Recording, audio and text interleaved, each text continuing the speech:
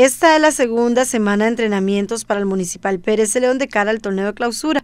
El portero Luis Diego Rivas precisa que se va acoplando a la idea del profesor Johnny Chávez. Bueno, creo que es una semana muy buena, que el equipo la semana anterior cerramos de buena forma, hicimos las cosas bien, ahí vamos poco a poco agarrando la, idea del profe. En mi caso, ¿verdad? Porque los, compañeros que ya estaban ya, ya la tienen implementada, pero en el caso personal mío este, ¿Cómo se ha logrado precisamente acoplar usted a esa idea del profe Chávez?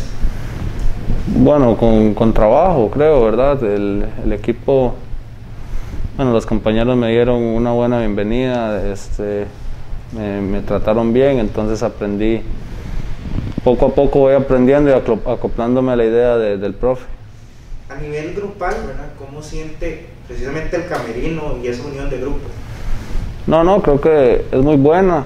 El, grupo tiene buenos jugadores, tiene buenas personas, que es importante también, y, y, el acoplamiento ha sido bueno, todos nos llevamos bien, todos trabajamos por el mismo objetivo, ¿verdad?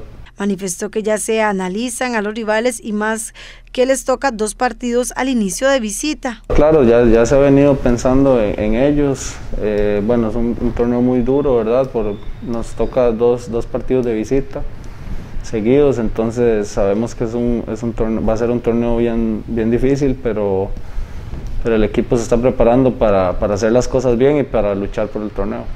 Ya la última, en la pretemporada siempre es importante, ¿verdad?, el manejo de las cargas, el equilibrio. En este caso es muy corto el tiempo de, trabajo, ¿verdad?, lo cual inclinaría un poco, ¿verdad?, a que se incrementen las cargas. ¿Cómo han trabajado precisamente este apartado, ¿verdad?, tomando en cuenta eso, que es poco el tiempo de preparación.